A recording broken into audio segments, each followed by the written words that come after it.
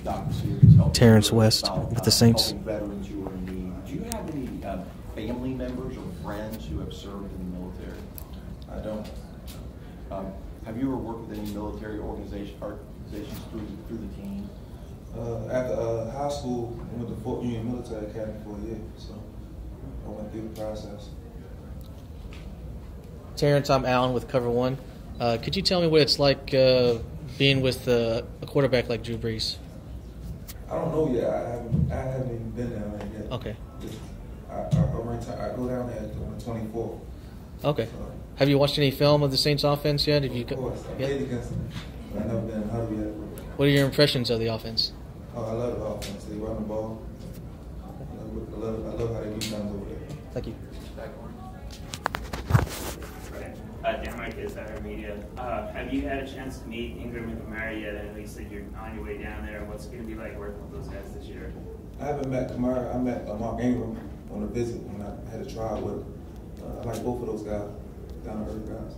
What do you see the year like going for you? How, are you excited? How, what, how do you feel about this offense and how you're going to fit into it? It's explosive. Um, I love they run the ball. Any team that run the ball, I love it. So I'm excited. Pierre Camus, Rotoballer. Uh, what are your conversations with uh, Coach Payton been like? Has he talk to you a little bit about preparing you for the offense or what to expect as far as playing time, anything like that? We haven't went, went over anything like that yet. But he, he told me he was a fan coming out of hi- uh, high school. Uh, He was a fan of me coming out of college, come to the NFL. So that was a big, big step. Next.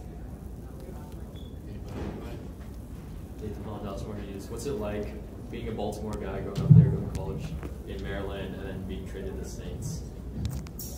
I'm gonna miss home, but any opportunity in the NFL, I'm excited for it. So I'm gonna take advantage of this opportunity, but I'm still representing Baltimore. Who's next? Good. Thank you.